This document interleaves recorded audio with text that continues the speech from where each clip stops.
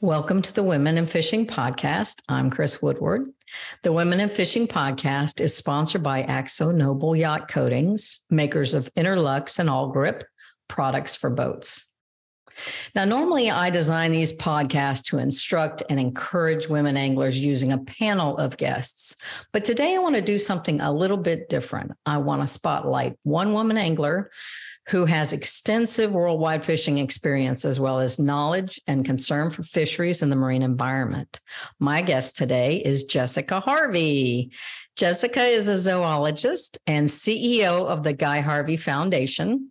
She was raised in the Caribbean and nurtured toward a career as an environmental conservationist by her parents, which include dad, Dr. Guy Harvey, the well known marine artist and fisheries biologist, her passion lies in education, and she partners with non governmental organizations, government agencies, corporations, and private citizens to plan creative ways to show the importance of a balanced, healthy ecosystem. Welcome to the podcast, Jessica.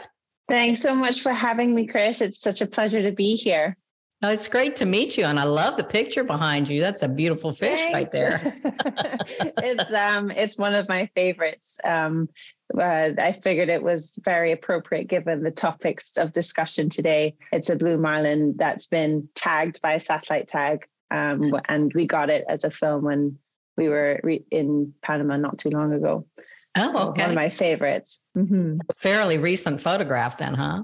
Yes, it was lucky. Okay. The conditions were just right. uh, it is gorgeous. Yeah, Panama is on the Pacific side, being such nutrient rich waters, you often battle with the cameras in green water or water filled with plankton and all sorts of other things. So having a clear blue shot is just sometimes gold. And I yeah. was lucky to be in the right place at the right time together. Yeah, that's amazing. Yes, I know. I mean, that they have wonderful upwellings of nutrients over there on the Pacific side, and mm-hmm. and definitely that can make the underwater photography a little more difficult. Mm-hmm. So anyway, well, let's continue talking a little bit about uh, your fishing. Obviously, uh, you have fished for billfish, but feel you know, just tell us about maybe your first fish or your favorite species or where you love to fish the most. Any special memories you've got? Oh man, I don't I didn't know where to begin.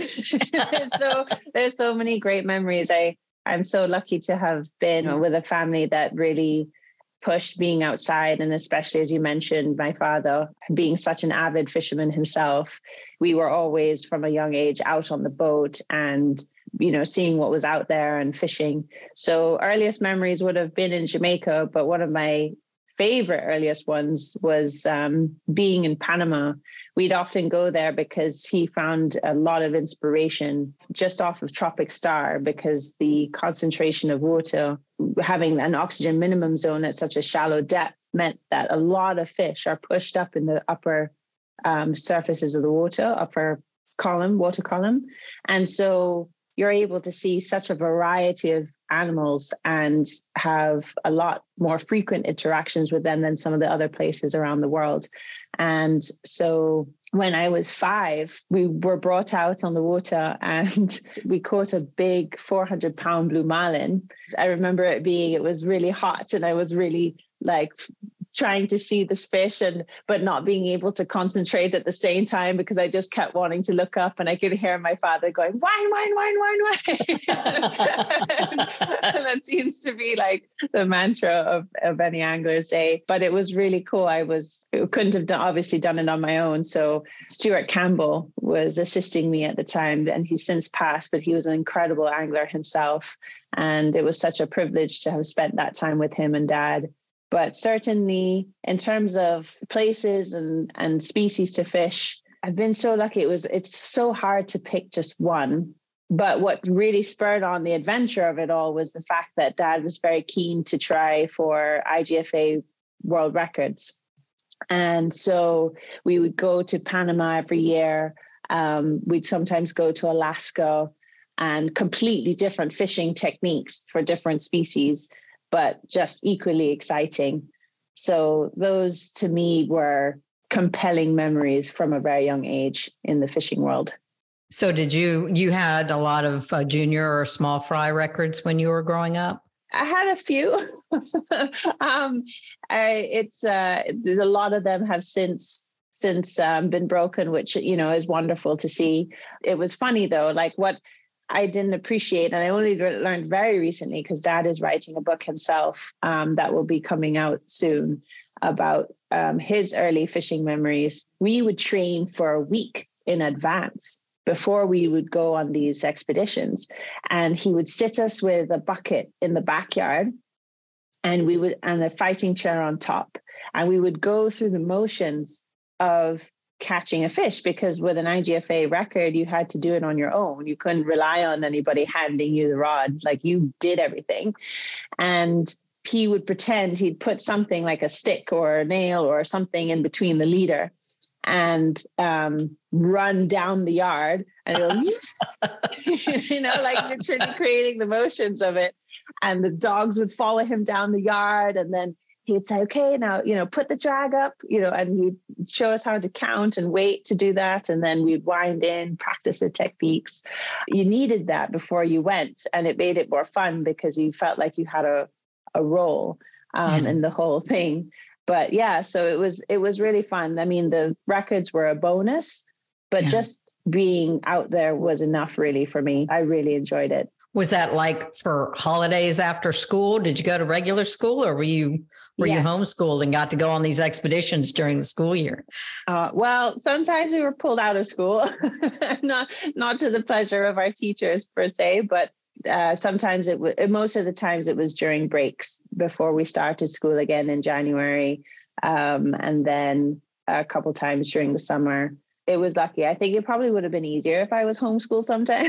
Yeah. but um, it was an education, and sometimes you know what was nice is that the teachers actually embraced the fact that I was going somewhere, and sometimes would ask me to showcase what we where I went and what we did. Um, so that was pretty cool to bring back the adventure and share what I learned. And it cemented a lot of the natural history, uh, the geography, and things that I wouldn't have really necessarily covered in school at the time. Well, it's nice that they were able to kind of give you credit for that. And mm-hmm. I would say too that when you would go uh, on these adventures with your father, it was about probably also about learning about the ocean too and about the species and checking the stomach contents and yes, yes. kinds of things. I have to say because I'm married to a, bio, a marine biologist, so I kind of have I kind of have that ongoing situation happening myself on a regular oh, basis. That's so, awesome, isn't yeah. it? But doesn't that kind of knowledge help paint the picture of what you're doing that much more? It's like you you better understand the the whole experience with that background. So that's really cool that you have that as well. Yeah. That's awesome. I assume too that you learned to scuba dive and snorkel and all of that pretty early as well as the fishing. Yes. The earliest you could learn to dive was 10. We moved from Jamaica to the Cayman Islands in 99.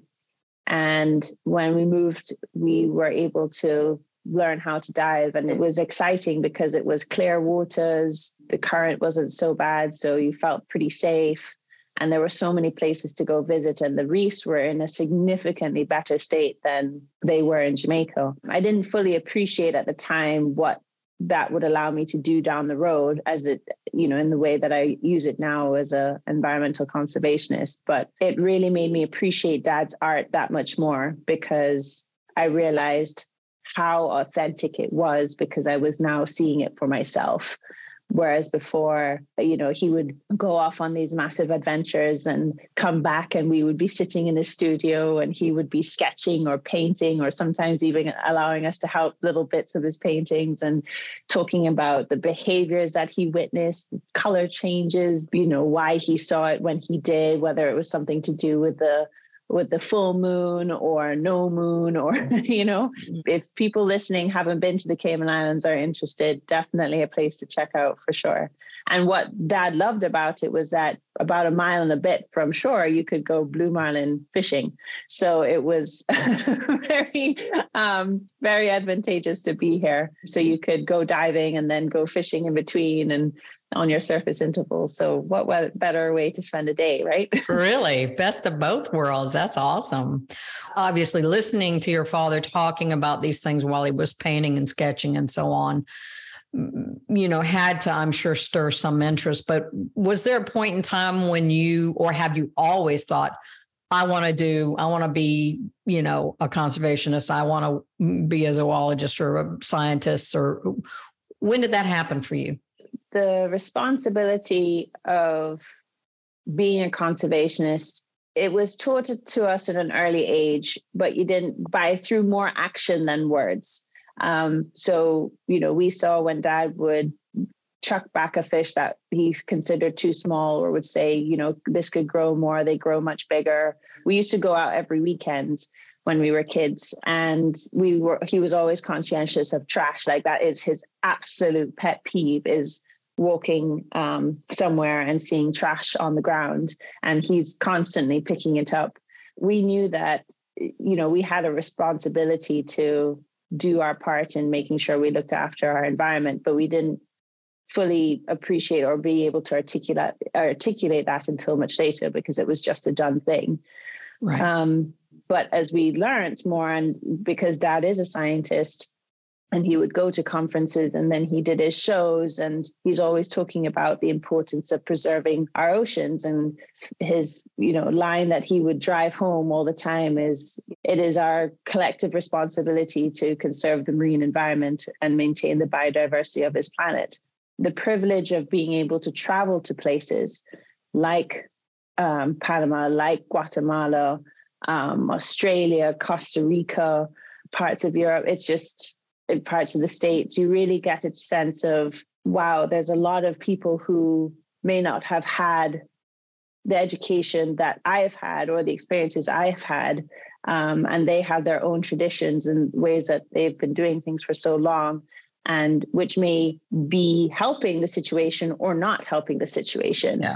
And in my role now, um, in terms of an environmental advocate, it's really been helpful to better understand, particularly when it comes to fishing, right? Because fishing to some can be considered controversial. Um, but has come such a long way in its history from when we used to kill everything, particularly right. billfish. And now um, with science and education um, and pushes for policy changes, um, you now have the Billfish Conservation Act in place, which prevents the exportation of billfish to the states. And then you have the shark fin ban, and then the you know overexploitation of mako sharks due to research. I mean, there's just been so many things that, as we've learned over time, how you know, over harvesting is such a problem, but there's a more sustainable way to do it, like recreational fishing. Mm-hmm. Um, and even then, that has, you know, extremes are never good, but certainly having a catch and release policy has been extremely beneficial for our environment and allows us to enjoy this very sport that we love without having to deplete the environment and for the ecosystem services that they provide. So you kind of gathered all of that over the years. And then I guess when you graduated high school, you just said, okay, I'm going to this university and I'm going to study science or yeah, well, it was um, just I mean, a done deal. Of, yeah, all of all of well, all of that was I mean the science that I mentioned earlier had come out recently, but I actually wanted to be a vet for a long time. Uh-huh. Um, I was very interested in equine veterinary science because my grandfather bred racehorses in Jamaica. And at five years old, I was like proud of the fact that I was not going to have grandpa pay for vet pills because I was going to be his veterinarian. um, and then I chickened out of it come my 11th year in high school because I caved into the peer pressure of it being too competitive and went into zoology instead with the idea with the intention of sticking to terrestrial biology mm. because I felt like dad's main part of that was marine science. And I didn't want to necessarily follow in his footsteps the same way because I didn't want to develop in his shadow or with the expectation, you know, I wanted to earn the respect on my own. So I went to University of Edinburgh and did zoology. If I wanted to pursue veterinary science, I could because you needed a zoology degree in some universities in order to do that, or expand any kind of component and eventually found my way back to Cayman to be a research officer in the with the Cayman Islands government for three and a hmm. half years. then moved on to work for the Guy Harvey Ocean Foundation, then as we've just recently changed to the Guy Harvey Foundation. So it's been a wonderful journey. Interesting. Well, I uh, you mentioned Edinburgh, and so I'm I'm having to think that uh, of course you must have read all, all of the All Creatures Great and Small series. Yes, yes, I did. They're fantastic. And Oh, have you man, that, well, the- that was a big inspiration. I mean, he was one of the biggest inspirations for veterinary science in the time. Oh, Um, absolutely. And you can see why.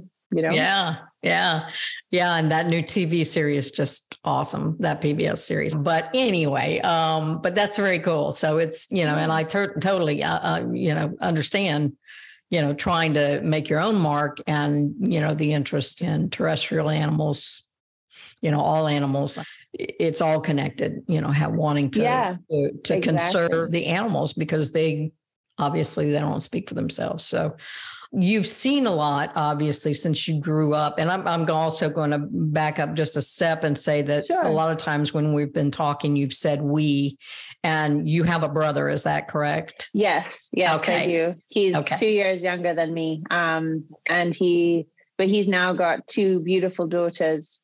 Um, and so finds it more difficult to come out on these expeditions with us. So, but he's been, he's always been there and we have a very close relationship. Um, so it's been, yeah, a, a really fun childhood with him for Sweet. sure. So you've seen a lot over the years in Jamaica and also in in the Caymans with regard to the health of the ecosystem and the health of the fisheries. Can you kind of tell me what that progression has been like or can you characterize what you've seen over the years? we are facing an issue of shifting baseline syndrome, which is where we come in to a time where we think this what we're seeing is the norm and we depend on the previous generation to remind us that no actually it's degraded a significant amount since and if you saw it in our time it was way more biodiverse and fish abundance was huge. And and I mean, especially through my dad, you know, on his many travels to to see it and and learn the differences in that time is something that's very apparent now, and that's why we encourage people to not give up in terms of supporting conservation efforts in the various ways in which people do, because we need to get it back to uh, a healthier and balanced ecosystem because our our next generation is going to depend on it. And it's going to be such a harder lift for them if we don't do something about it now. And there are success stories which is encouraging. For example in the cayman islands you have um, a huge effort to protect nassau groupers. And in in the early 2000s unfortunately a lot of them were caught at the spawning aggregation site which they come to once a year. And a lot of the fish when they went to sell it to market was spoiled. And a, and a lot of these animals were were breeding females large breeding females. It was a disaster because you're you're reducing a very significant stock. And we've since seen science show that these animals are actually the population of these animals are dependent locally so they're not we're not getting new recruitment necessarily from other caribbean islands so even worse that we'd had so many removed in one go. But thankfully, because the government here has been so proactive, and then they've um, worked with um, other researchers uh, to be able to um, support the ban of fishing them for eight years, and it has allowed the population to come back. And now there's slot sizes and protected times, and it's amazing to see. And it's, and it's a great example that if we give nature a chance, it can bounce back. As a whole, overfishing is the biggest problem, and the population that depend on fish as a food source is a problem. And trying to balance that need with the way in which animals reproduce at a rate that they do, depending on what whether they're a shark or a billfish, is tough. And so the hope is that through education and research, we can explain this to people that there are reasons that regulations are in place. There are reasons that we need to limit the catch um, and you know support catch and release because otherwise um, we're going to lose this resource. And when you think not only just from a food resource perspective, but how much money economies receive through sports fishing and recreational fishing, it's massive. And yeah. um, so it has such a, a strong economic importance that we need to preserve. And then on top of that, you have climate change and you have pollution and you have um, all sorts of things affecting it. And sometimes it's so doom and gloom, but you have to think positively and think every little bit. If we all make an effort to to make a difference, it works. And I think COVID, as horrible as it was, was a fantastic juk of positivity from a nature perspective because we were able to see so much good change come from just a, a brief pause um, in activity. But well, and you've seen, you know, kind of an, an you have more of an international perspective than say some of us who live in the states, where you know we're focused more on what our federal government's doing in federal waters mm-hmm. and our mm. state government's doing in state waters, but we forget a lot of times that especially with migratory species we're talking about how these species are tr- are treated in the Caribbean or and in the Pacific mm-hmm. or you know in other parts of the world where you know they eventually get to our shores. I'm with a case of you know mahi or dolphin.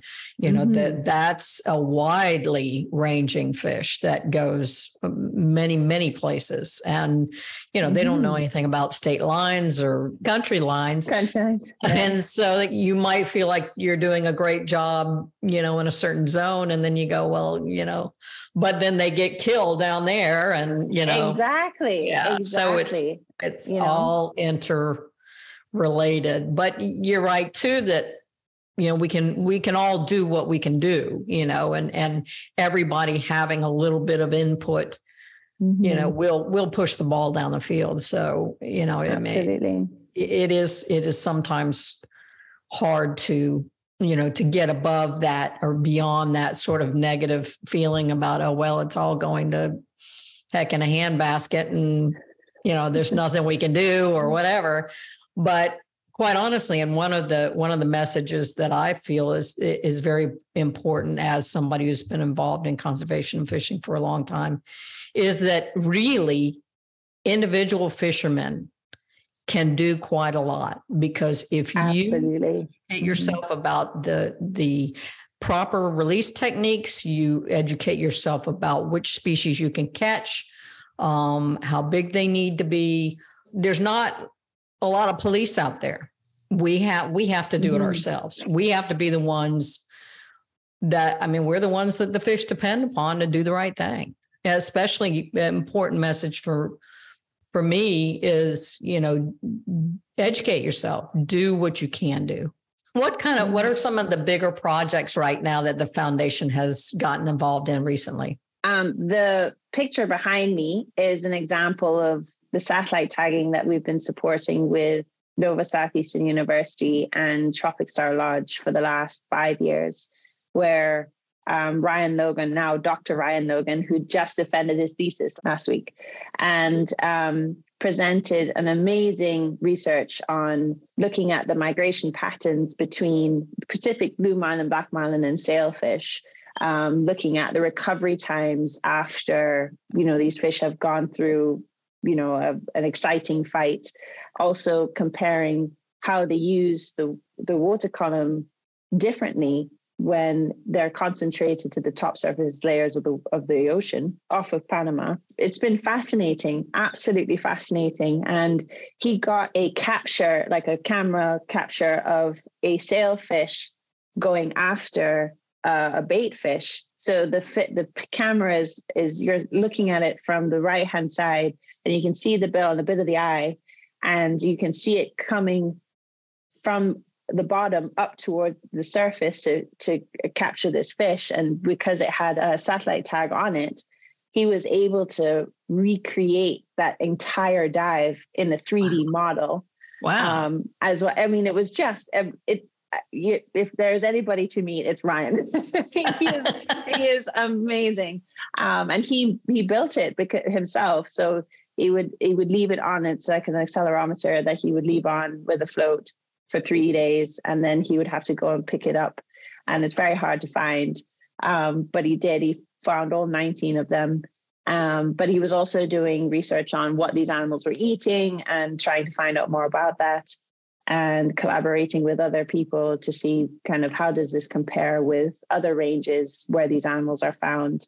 So that's been very exciting and we're looking forward to continuing the next chapter of that with nsu and tropic star which we're in the phase of organizing now. Can people see any of that information, some of the results yet on the website on the Guy he's, Harvey Foundation? He's published um, a couple of chapters from his PhD already. So that is available to see. And then the Sun Sentinel actually did an article on it in Florida, which was really, really cool. Yeah, it's there's definitely pieces of it that are available and he'll continue. And once the rest of it is published, it'll, it'll be available to the public. But yeah, we've been doing that and we've been supporting shark research in the Galapagos and um, Mexico. We previously worked on rooster fish. I mean, you were asking earlier what some of my favorite fish to catch was. If it's not billfish, it's definitely roosterfish. Um, have you ever caught a rooster fish? Yes. Oh, aren't they the best? I just oh, I love it. I love it. I remember going for the first time and in, in with Ryan actually in May. Not the first time for me, but the first time for him. It was so exciting. I mean, when you're using um, the poppers and and yes. you're really working hard for it, it just the gratification of the seeing the whole thing happen with the comb coming out of the water, and then you're like, yes, come on, come on, come on, you know. Um, I tell you, I mean, and it's the fight is hard too. Um, yeah. You know, and you know, some of the ones that you can catch are pretty big. That was fun to be able to do some satellite tagging yeah. on those animals. Oh, um, oh, neat! You tag yeah, those too. Yeah. Oh, cool. Um, and then, as you mentioned, the dolphin fish tagging, we um, support the dolphin fish research program, which has been exciting. A lot of my job really now is more than fishing is filming. I love seeing people, other people catch fish. But when it comes to research, what's fun about the whole thing is that it's a team effort. You need mm-hmm. to work with a skilled captain and the skilled mates and an angler and the tagger. And there's no one dominating thing at all. It's just everything all the pieces have to work together yeah. to be able to make sure that the fish that you're catching is looked after well and is not out of the water unnecessarily long and released quickly it's very gratifying to be a part of that yeah. and I've seen him put on satellite tags for dolphin fish and has he's gotten some really interesting information and also supported his spaghetti tags as well, which have right. been really interesting um, one of the fish that we tagged in Cayman actually ended up in the Keys. And uh. so that was really, um, you know, connecting the dots in terms of their pathway, migratory pathways. Um, Absolutely. There's a lot. I mean, and that's just on, um, sure. you know, there's so many more aspects that we support. Um, yeah. But what's exciting for me, the most exciting thing for me is to try to get and take that information that we're getting from research and putting it in educational formats that are mm-hmm. digestible and understandable to the public and particularly that can be put into school curriculums because. One of the things that we found and you know certainly for for both of us I think we probably grew up with the textbook way of learning and some of these textbooks were outdated by the time it came across our places, you know, and, and a lot of them didn't have local examples. So to now have technology in our favor and video and photography that much better and that much more exciting, we can really showcase some of these things which are hard to you know not many people are going to see you're not going to see a blue marlin in a tank the only way you're going to see them is by making the time and effort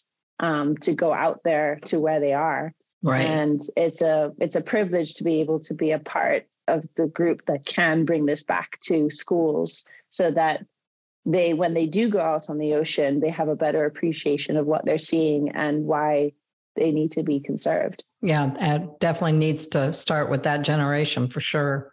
Well mm-hmm. are there ways that our listeners who um, maybe don't have uh, school age children or uh, you know have have have gotten to the point where they want to give back or want to be involved are there ways that they can get involved in in conservation with the foundation? Or uh, uh oh, what, yeah. what do you recommend absolutely. We have a lot of resources available on our website so by all means um, please check them out. Um, there's a lot of videos and a lot of educational resources that um, are geared at different levels, but are, are good information to have.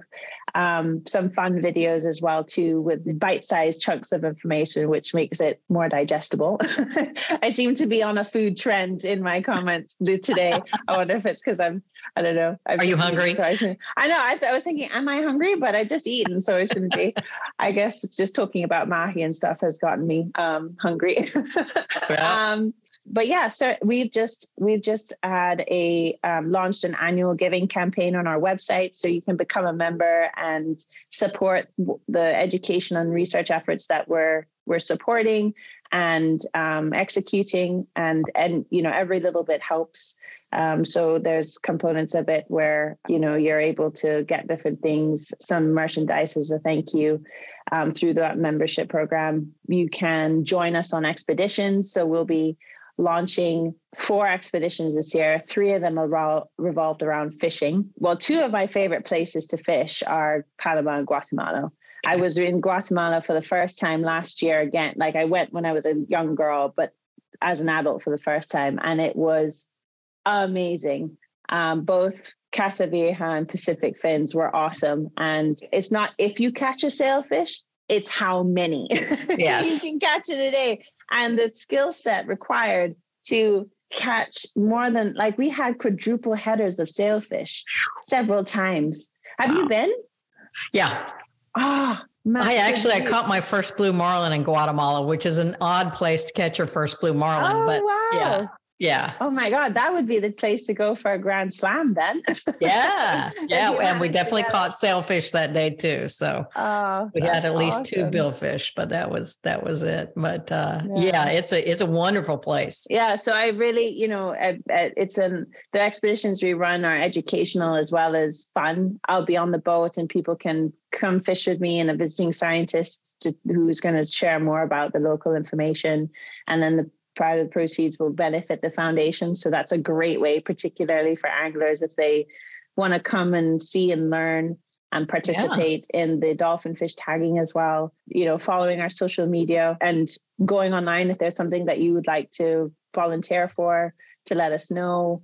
But just broadly as well, finding something that you're passionate about, even if it's not with the foundation. Of course, we're grateful if it is, but if you're an angler who's passionate about freshwater fishing and there's, you know, uh, topics and things that you feel like you would like to help in that way, you know, research more and go for it. Yeah. Um, you know, if it's something relating to um, habitat restoration, you know, that's a big thing in terms of supporting the fishing industry that's so needed in so many places. You know, that's how we, what role we play in that, depending on where you are you know do do make an effort to go and learn more about it because as as you rightly said chris you know anglers are the best advocates because they're the ones on the water most of the time particularly captains and mates. You have a, a great ambassador role to play.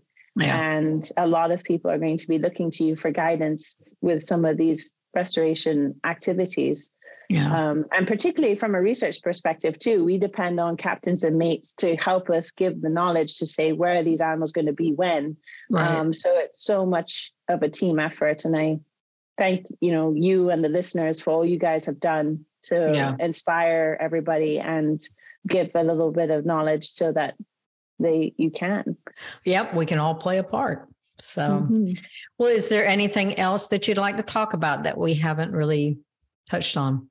Just in terms of looking back on um, some of your questions, you, you were asking, you know, any special memories. I think with particularly with dad, I would not be here without his support. And I know that not everyone is lucky enough to have that level of support. We hope that we inspire you as and as and I say you as in listeners that you can get out there and explore.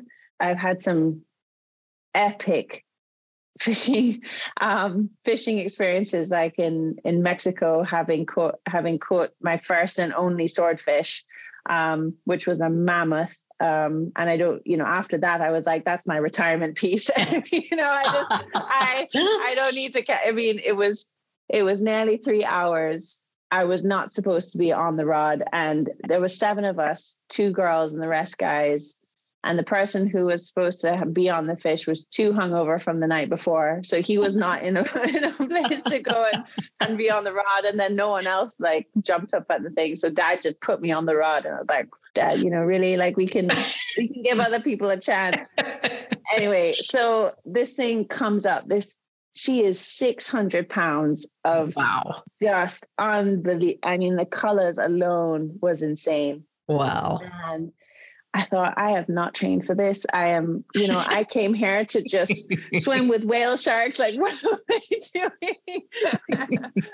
Three hours yeah. later, you're crippled, and yeah, yeah, exactly. Um, but what was I, the last thing in terms of that is, um, you know, the the swordfish is a, an example of a story that has done well thanks to conservation efforts and you know normally we wouldn't take an animal like that i mean by the time it was it was so exhausted um, after like a nearly three hour long fight but we brought it back um, and it was thanks to Cap- captain anthony mendillo and his team who are an amazing team and everyone got a piece there was not anything wasted yeah. um, from the fish and it was really a special day because dad dad particularly was proud of that being the angler that he was. And then I remember catching my first black marlin, which is around the same size. Dad is the type of person who can stare at lures all day long. there is nothing, nothing that it can waver his patience in that way. Um, and I wish I was like that. I'm not quite as good as that, but he he will do that, and he will tell you where this fish came, uh, write it down. You know, more recently, I've I've done a few expeditions without him, which is weird for me to do. But there was a marlin where I, I saw it come up on the line and I can see it like as if it's in front of me now. And I was waiting for it and it came and hit the left short. And I picked up the rod instinctively, fed it, cooked it, released it. And I was like, that was just, I just like felt the knowledge from my dad come through me and go out with the yeah. best execution. And I thought that was that is my favorite day. That was yeah. my favorite day. It just cherished the moment and all those years put together yeah. to have made that happen. It's amazing to do something completely on your own like that. And something that takes a lot of technique and a lot of uh, knowledge uh, and patience and calm. Mm-hmm. Um, it's that's that's that is quite an accomplishment. So yeah, definitely congratulations on that. I I I had a similar situation when I was uh, sail fishing actually by myself um number of years ago in in West Palm Beach area mm. and caught I caught a sailfish by myself. Um that's awesome. Built it, released it, and that's my favorite catch of all time. So I totally get that. And uh, it sounds like we're kindred spirits and, yes, and maybe sisters in another world or sisters from another mother or something like that. But mm. uh, anyway, so yeah, I mean, I get that. And I, and I hope everybody out there gets a chance to have that experience too, because it, it truly is awesome when all the pieces come together and everything works and that fish swims off and you're like, yeah, right? Cheers. Absolutely. Cheers to that moment. Congrats yeah. on that too. It really yeah. is special. Sweet. All right. Well, then I hope that everybody uh, that's listening will check out the website, get involved, and and as you said, even if it's not with the foundation, get involved locally. Um, a lot of state agencies do ask uh, anglers to tag fish, for instance, do spaghetti mm-hmm. tagging of fish. Um, so there are citizen science projects out there that uh, that you can get involved in. So um, check your state fisheries websites and and and see what you can do and, and get involved. And the only piece of advice I'd add to that too, if you do participate in citizen science programs like that, be really careful as to what data you're required because a you know good handwriting is important because if you've written down something that is very hard to read then it it's very difficult to add it to the database. So if you've taken if you think about all the time and effort you've put in to tag an animal and then it re-recaptured and you're like oh no but i can't read what it's saying. I don't know where i don't know where it was released. It, you know the data that point then it gets lost and it's you know it's it's unfortunate. So definitely pay attention to how you're writing down data if you're asked to submit it and try and complete the whole data set because there's a reason that scientists are asking for this information and they try to make it as simple as possible but the required data in order to make the analysis strong because otherwise it makes it really difficult for them to use that data and yeah. they are so grateful to the time and effort. But you know we've had several people who have had amazing recaptures and all they've put down is the name of the boat. Oh, like, oh no no no no no no. So please don't be that person. Um, you know take the time if you need help help. But that would be that you know because then when can you imagine if you get called and say your fish ended up i don't know on the other side of the world and you were part of that and it's just it's really cool to be a part of it so yeah. Um, yeah. just a word of, of, advice to all of you who are participating we all greatly appreciate it good thought good thought mm-hmm. All right. Well, I think we probably hit our time limit too. Um, mm-hmm. So we yes, we appreciate way over time.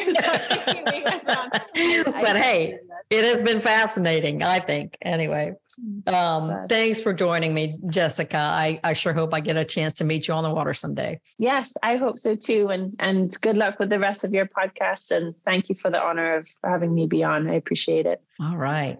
Thanks much. Tight lines.